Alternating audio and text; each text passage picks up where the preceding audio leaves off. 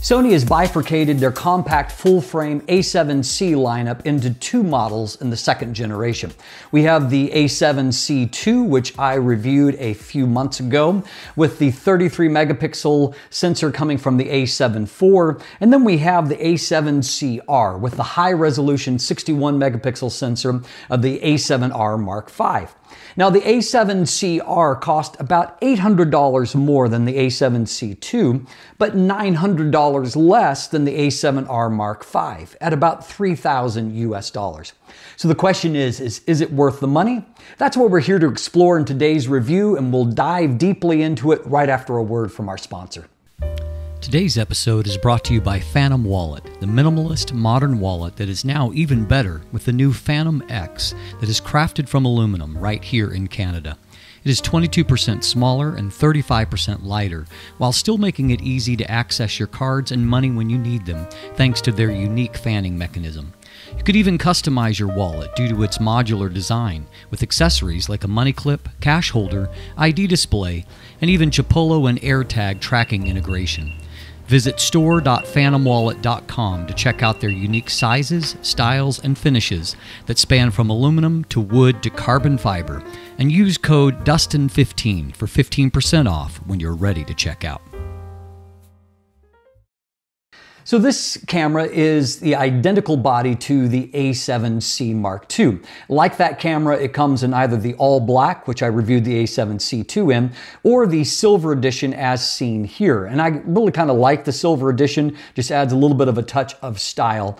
One of the things that I really like about what Sony has done in this second generation is that essentially almost all of my ergonomic complaints of the original A7C. I love the camera, I didn't love the handling, but they have resolved almost all of that here in the A7CR. And after just getting back from several weeks of traveling using this as my sole camera, I can tell you that it's a camera that really is quite a joy to use. It is compact. That's what this whole series is about. And I think that for a fair market of people, that's really what they envisioned mirrorless being all about is the ability to get high performance in a compact body. And if that is your definition of what a mirrorless camera should be, I don't know that there is any better example than the A7CR. This is a camera that is only 4.9 inches wide by 2.8 inches tall by 2.5 inches deep, or 124 by 71 by 63.4 millimeters. And really the only change from the original A7C is a good one in my opinion, and that is it's a little bit deeper because they've got a little bit better grip on here. The camera weighs in at 515 grams. That's with a, with a memory card and the battery inserted, making it only one gram heavier than the A7C Mark II. And it weighs, that's 1.1 pounds. Now, interestingly here, my kind of main complaint still with this is because it's not a very tall camera, my pinky finger ends up getting kind of loosely orphaned under there. There's no real place for it to go. But unlike the A7C2, they have included a grip extender as a part of this kit. And so you just use the wheel to mount that onto the bottom into the uh, the tripod mount at the bottom, which by the way, that is replicated, that quarter inch is replicated at the bottom of this. And now all of a sudden I've got a grip large enough for my full hand to fit on. Now when I traveled, I traveled without this and so I could go as compact as possible. But around home, as I've been using it shooting out in the field, I've been using it with this grip extender because it just frankly, it gives me a better overall experience. And it also means that if you put a little bit more robust lens on there, you've got a little bit more camera to hang on to, which is kind of nice. Now, I talked about there being some ergonomic improvements, and those are really focused on the ability to have more control points. The first A7C did not have a front mounted wheel right near the shutter button. The second generation does, and so that makes a significant improvement. There, there's now a total of four different control wheels, which means that I can operate this basically the same as any of my other Sony cameras once I get it set up. And so that obviously is, is really great because you get accustomed to a certain workflow. I can fully replicate this even on this compact camera. There also is an additional custom button, which is very nice to have. And as it also has a new uh, dial here underneath the main control dial that allows you to switch modes. And the great thing about that is that you can have a full custom setup for either stills or video. And that includes your buttons, your menu functions. You can just really go from a hybrid from one to the other with just switching that mode dial switch there, which is a really nice addition. Another thing that we have, have on more recent Sony cameras is in improved touch. You can navigate all the menus now by touch, and that just makes for a better ergonomic experience. And it does help to make up for the one thing that is still missing, and that is any kind of joystick. And that's the one thing that I would still like to see them improve is to add a bit of, uh, even if it's a small joystick like on some of the Fuji cameras, just gives you that extra navigation option, which is certainly worth having. We do have a slight improvement to the LCD resolution. It is now 1.04 million dots compared to the 921,000 um, dot display that was on the A7C. It's still a three inch vari-angle screen and so you can operate it at you know different modes. I know that some people still prefer the tilting screen. I personally prefer this articulating screen. It just gives me more flexibility in my mind. And you can go ahead and debate that ad nauseum in the comments down below. It has a slight reorganization of the ports compared to the A7C, but all of the same bits are here. And unfortunately, that includes having only a single SD card. It is UHS 2 compatible, but we are missing the ability to have, you know, type our CF Express Type A, which would give us a faster flow rate for information. And we're going to see that that does cause a few issues that we'll get to in just a moment. It, unfortunately, the other limitation here is there still is just a micro HDMI port. And so, you know, for these cameras being so good at doing video, micro HDMI is far from optimal. It's just kind of a flimsy connection point, and I do miss having a larger HDMI port out of that. Now the viewfinder is more rangefinder finder style over to the left side of the camera. I don't love that position ergonomically. I know there are a few of you out there that prefer it. What is kind of indisputable is that at a $3,000 price point, this is an underspec viewfinder here. It has a resolution of just 2.36 million dots, you know, the A7R Mark V, which is kind of the kind of competing camera in terms of the same sensor. It's got an over 9 million dot um, you know, viewfinder, and so that's a pretty radical difference. It does have a slightly faster refresh rate than what we saw on the A7C, and a little bit higher magnification, but it's just, it's one of my least favorite things about it. The viewfinder just doesn't look all that great to look through, and so, you know, it's just, it's underspec again for this price point. The battery comes courtesy of the NP-FZ100 battery, and I will note that one of the clever things about the grip extender is it's got a little bit of a lock on the bottom and it'll spring out of the way to give you easy access to the battery port there at the bottom. And then you can lock it back in place so you have a little bit more of a steady place to put your finger once again. Now in this particular application, it is rated at only 490 shots, so it's actually 540 shots on the A7C2, so a little bit less battery life due to higher demands from the you know bigger sensor that is in this particular camera. One other thing that's worth mentioning, mentioning about the build and handling is that we do have improved in-body image stabilization. It is rated up to seven stops. It has that active stabilization mode in video if that's so desired. And so it just, even though it's a compact camera, everything's miniaturized, it really works quite well. And so that's obviously, in-body image stabilization is fantastic. And to have such an effective system in such a small camera is great. Now, when it comes to the autofocus system, we basically have a similar autofocus system to the A7R Mark V. And so that is a lot of goodness that is packed in here, though there is one significant difference that we'll get to in just a second. So we have 693 uh, phase detect AF points it covers 79% of the image sensor, so not as high as what we saw on the A7C Mark II. But frankly, in real world use, I didn't really notice a difference. There are a bit fewer autofocus points and they're distributed in a little bit tighter array, but I was able to track action and do all those things. I don't really have any kind of criticism. Really kind of the bigger thing, it used to be that every generation of camera you wanted to see more and more AF points. It seems like now we've got enough AF points. I'm not seeing that being the move so much. What I'm seeing more is a focus on AI processing units like this camera has to allow for smarter tracking, to use those AF points better.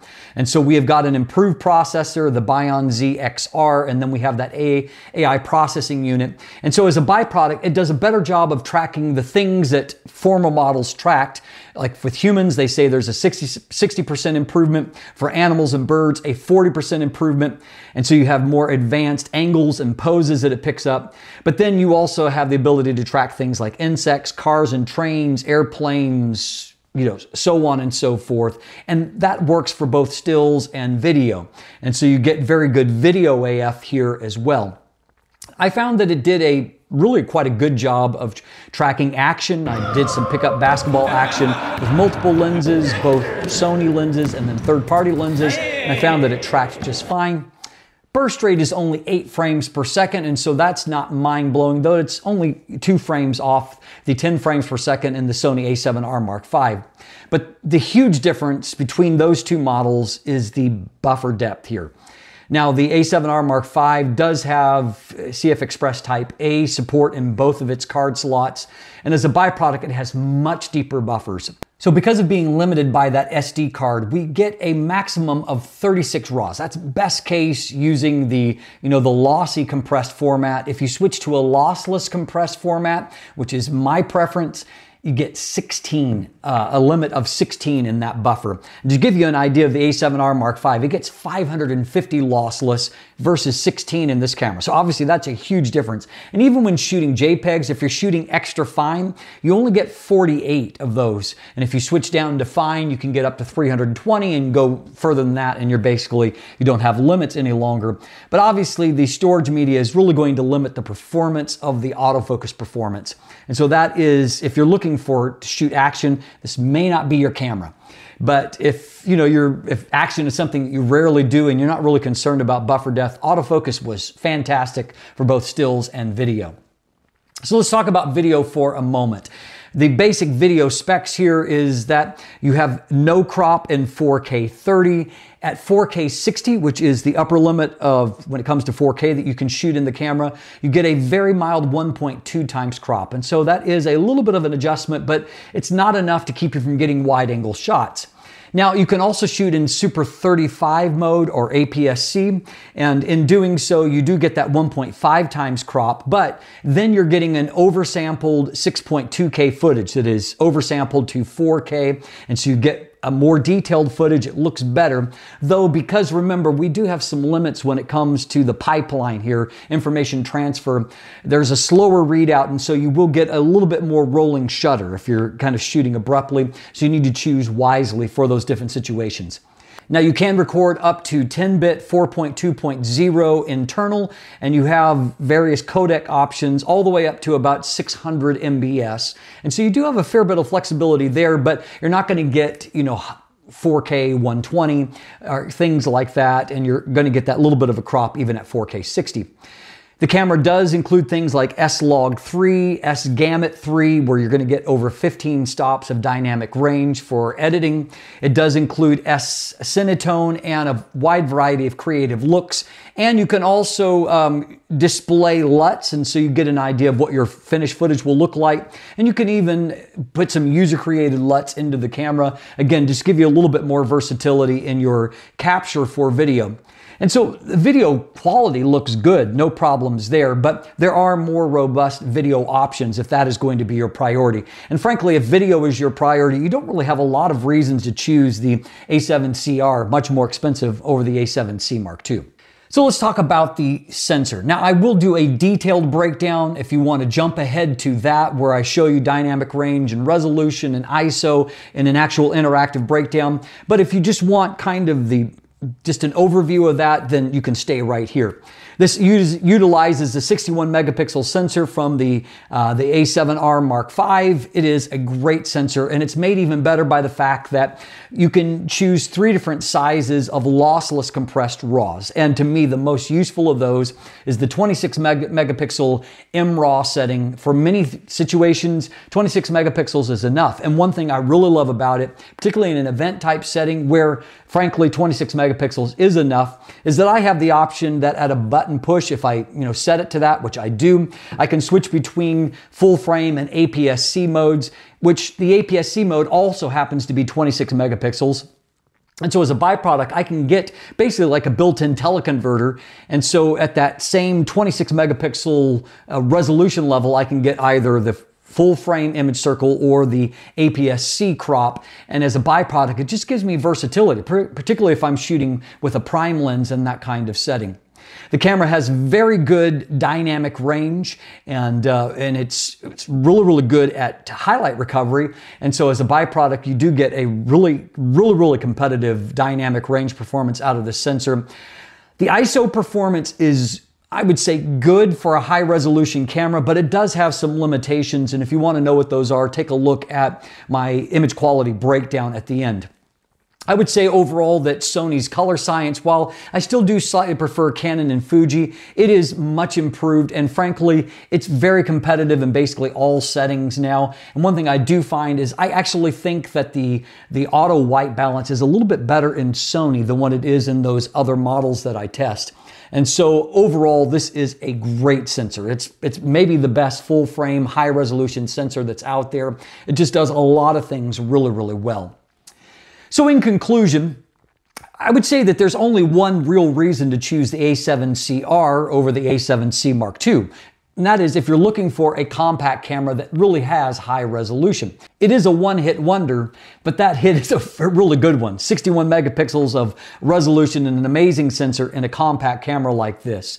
Now, the A7R Mark V does have more robust features, a better viewfinder and screen, it's much deeper buffer depth, has better physical controls, has better storage options, but it is nearly $1,000 more expensive. And so, if you're looking for the cheapest way to get to that resolution point with the modern autofocus system, this is the way to do it. And, but again, I think the biggest reason to choose this is if your priority is to travel small and light. There are all kinds of great, great um, compact lenses that work well on this camera. And if you want a list of those, I do have that included in my text review. And so you can check that out in the description down below.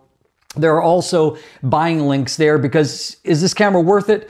Well, let's put it this way. It's a much more compelling camera to me than the Sigma fp L, which is the other small way to get that kind of resolution. But this camera is just, it's a real camera in the way that I don't consider the Sigma to be.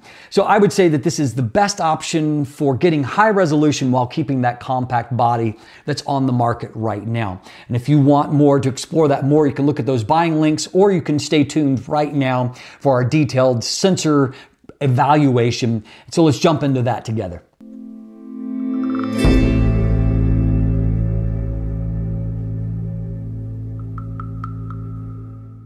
So first of all, let's talk about this resolution for a moment. Obviously, with 61 megapixels of resolution, it really gives you a lot of versatility uh, for kind of deeply cropping into an image. So for example, here at a pixel level, you can see just how much detail is there, and this is with the 16 to 35 millimeter uh, G Master Mark II. And so you could deeply crop this image, still have, I'm showing you on a 4K monitor, so that's still a lot of pixels there. And so you could crop this in and really have a macro type image from obviously what is a much larger image. Likewise, if you have a larger landscape type scene like this, and by the way, this is not shot with an expensive lens, this is just the very inexpensive Viltrox uh, autofocus 20 millimeter f2.8 lens. But you can see again, if we zoom into a pixel level, there is just tons of information that is there. So as a byproduct, we can easily crop into a you know a much tighter image like this. Going back for a moment, going into this image, and then I've re-edited for this you know particular scene right here, and you can see that clearly we still have lots of, of resolution. Like I have the ability to to go in a fair bit even on a 4K monitor here. And so, I mean, that's obviously going to be extremely useful. What's then also useful is that, for example, in going into this setting where I've this is actually using an APS-C lens, the uh, Viltrox Pro AF 27 millimeter f1.2, and so even shooting at f1.2, you can see, and in the APS-C mode, I still have plenty of room to crop into that and to allow myself to get closer to the subject, which can be really useful in a setting. It also means that, you know, for example, a couple of other images from the Viltrox using APS-C specific lenses megapixels on this high of resolution is great because uh, you know instead of having a having to have a, a, completely separate body, I can shoot on this and still get as high of resolution. 26 megapixels is what is currently available on Sony, and as you can see, it delivers really beautiful end results. Another shot here just shows you just you know what this kind of combination is capable of, and so to me that's extremely useful. Now, one of the trade offs of high resolution is that it does tend to be a more sensitive when it comes to high ISO performance. And the big reason for that, here's base ISO of 100, is that obviously you go into 100% magnification, those every one of those pixels is really quite obvious. So I'm going to pan around here for a moment to give you an idea of what things sh- should look like. And so obviously it looks beautiful at the base ISO, but there's a lot of information that is there. And so that means that as you start to see flaws show up, they're just a little bit more magnified because they uh, they cover more more pixels and thus are more obvious. So starting at ISO 400, we can see comparing to the base ISO on the left that Everything still looks really nice and clean. Contrast and colors look very similar. We can see there's basically no additional noise that is there in the color swatches. Everything's still looking nice and clean here on the right side. We'll jump that on up to ISO 1600. And so you can see looking at them on a global level, everything is basically identical. Contrast looks identical. Color, um, there's no color shift or anything like that. Everything looks the same. And as we look here at a pixel level, everything pretty much looks the same as well. There's not really a lot of additional noise that is there yet. And even in this area, which is where I primarily see pattern noise start to emerge there's still very very little there and the black levels are still you know quite consistent not quite as inky black as what they were at base iso but again not far off so we'll now switch to that iso 1600 where we saw that that you know, there's not a whole lot of difference yet. And we'll start to compare the higher ISOs moving from there. So the first thing that I want to observe is that starting at about ISO 3200, as you can see that there is just the very slightest uh, grid pattern that starts to emerge here. Now you can't really see it in this particular image in the out of focus area because this should all just be inky black. And so where you're primarily going to see it is in these color swatches and then also in this here where you can just see there's just a little bit of a pattern there. But again, as far as color shift, no problems there. We can see that the noise pattern is slightly rougher, but still not at all objectionable. So keeping ISO 1600 on the left, but now moving to 6400 on the right, you can definitely see that grid pattern a little bit more obvious. And so that's the kind of the main uh, kind of weakness, I would say, and we'll re-examine that in a moment. You can also see looking in this area that the pixels are looking a little bit rougher here. And what we can also see is that now looking up into this area that should be consistently black, you'll see here and there just some kind of hot pixels. It's a little more uneven, and thus we don't have as much blackness. Our contrast is going to be reduced a bit by that. If we look in here at the mirror, you can also see a little bit of a pattern noise there, and also just the slightest bit of a green tinge in that area. So now with the examination jumped up to 12,800 on the right, we can see that that grid pattern has become much more obvious. And again, that is the primary weakness here. Everything is getting a little bit rougher inside this. You can see a lot more of those hot pixels. That's also true if we move out into this area. You can just see that it's, it's quite inconsistent. So you see kind of some snow effect there that is taking place. And as we get down into this area, everything is getting just rougher still. And if we jack that on up, now ISO 12,800 on the left and 25,600 on the right, you can see that from here on, it's just going to get rougher still. I would say that this is the first area where at 25,600 that I start to see just a little bit of a color shift. It's a little bit greener. And uh, you can see even in the metal here that there's just a little bit of a shift even in those shadows towards that green tinge we could see it before in this mirror area and it's a little bit more obvious now. And even here in the texture on the grip of the old SLR you can see a little bit of that kind of pattern noise that is emerging there. And then of course if we take a look here that grid pattern is it's not necessarily worse. Now kind of the roughness of the pixel starts to obscure that grid pattern just a little bit more. Now the upper limit of the native ISO range is 32,000 and so that's only a third stop beyond uh, 25,600. So there isn't necessarily a huge difference between these two. And in some ways, kind of ironically, at 32,000, I feel like there's a little bit less of a color shift than what we saw before. But what you can see is that the noise pattern is just a little bit rougher and obviously quite inconsistent there. Now, I wouldn't recommend moving beyond the native range on a high resolution body like this. At 51,200, you can see there's definitely more of that color shift. The image just has a little bit more of a green tinge to it. And then, likewise, if you go into a pixel level, you just see that everything looks rougher still. Contrast is yet lower. And looking off into this information, it's starting to look just basically unusable. And that's only going to get worse if you go to the expanded limit of 102,400. And that is now not a usable image. And you can definitely see that overall color shift in the black areas that it's just kind of has a green tinge to everything. I would not recommend using that. Let's go back and take a look at that grid pattern for a moment because here is an ISO 12800 and where I mostly see it is in areas where it should just be kind of uniform. So in this case, beyond the guitar, we have just a wall. And so that wall should be consistently uniform. So I mean the pattern noise isn't a problem here, but if you look at what should be just consistently smooth, you can see that kind of grid pattern that is there. Now, there is an interesting workaround, and that is to utilize the MRAW setting. Now, obviously, you're going to get lower resolution, uh, 26 megapixels versus 61, but let's take a look at how this compares. So, if we look in this area here, you can see that grid pattern that's there. This is ISO 12800 on both. You can see how that noise pattern is just much finer, and you don't see that grid the same way. On the back of this old uh, Bible cover, leather bound, you can see that it just it's very inconsistent texture wise here. On the right side on MRAW, it just looks a lot cleaner. Likewise, if you look at these various volumes, you can see that detail and contrast just looks a little bit better. And if we pop over to this side, you can see once again that there's just a big difference in this overall noise look here by comparison. And so if you need to shoot in very dim situations, shooting in MRAW, you're going to get less resolution, but it does allow you to get just cleaner end results, and that just might be use, useful. So let's talk about dynamic range for a moment. And so we're going to do a series of tests where first I purposely underexpose from this base ISO and then I overexpose and then we'll see how well we can recover that in post, which gives us an idea of how well this does in recovery of shadows and highlights. So this gives you a look at how things should be here. Now, Sony cameras are very, very good at shadow recovery, so I'm going to skip all the way past one, two, and three stops, and we'll go right to a four stop of underexposure. So here's what the original looks like at four stops of underexposure. You can see that there's just a lot of shadows that are crushed, things that look unnatural there. And uh, here I have just added four stops of exposure back in post. So let's see how cleanly we were able to do that.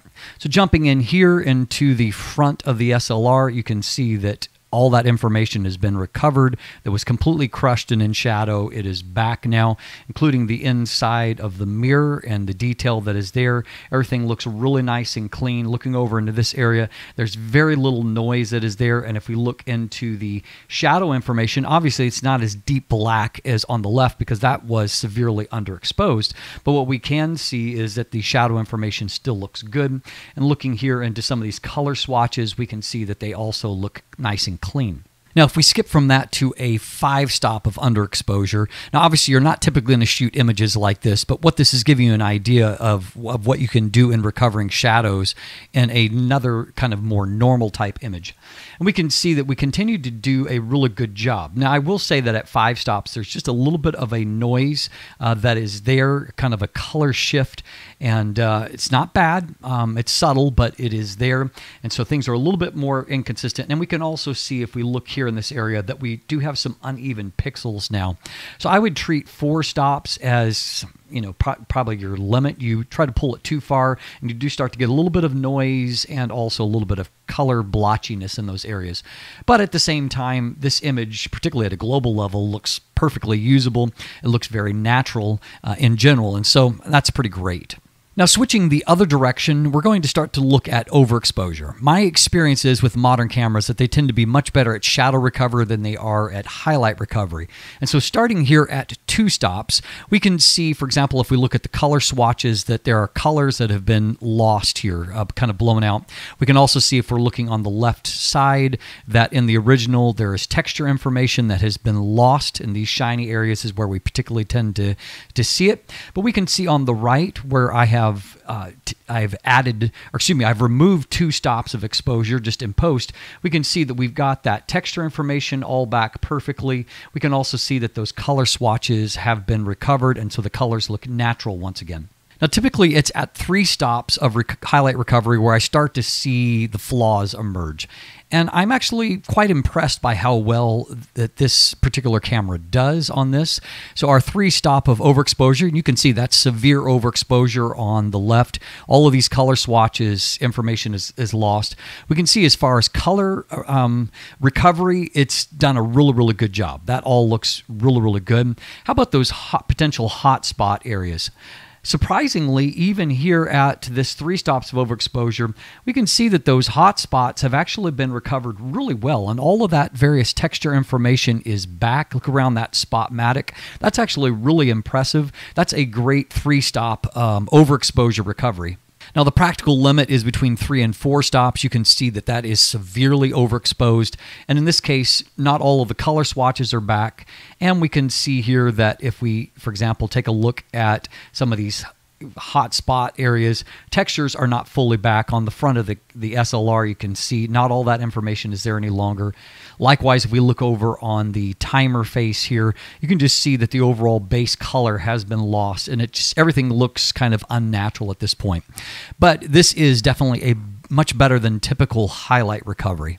So, to give you an idea of some practical value for that, in this case, uh, obviously I have no front lighting for my my subject here in this shot, and even though it's a bit overcast, it's a bright overcast. And so, what I've been able to do in this shot is I've been able to increase the exposure on the face of the model and it still looks nice and clean there. And then also I've been able to hold back those highlights and so we haven't lost the sky information. And then with the horses, you can see that even though they're little bit more shadowed, they're not crushed. And so that's very, very useful. In this shot here, shooting, I mean, there's a huge range of exposure value here. Um, and so you can see the underside of the bridge, which would be in complete shadow. There's a sky that would be very bright, and then various you know snow covered areas. And we can see that through processing, I've been able to increase the exposure to where we can see the underside of the bridge fine. And if I zoom in there and take a look, it's not full of noise and ugliness. It looks fine. Then, likewise, here with the highlights in the sky, I've even been able to recover some of the sky information, and so it's just not completely blown out.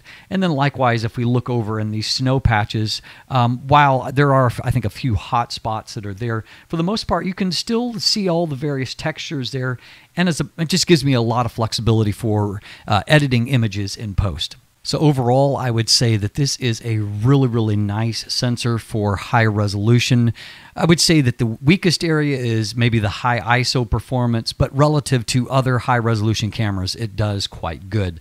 So this is really about as good a sensor as you're going to find, and it's very impressive to get it in such a small camera. You've made it to the end. Thanks for watching. Have a great day, and let the light in.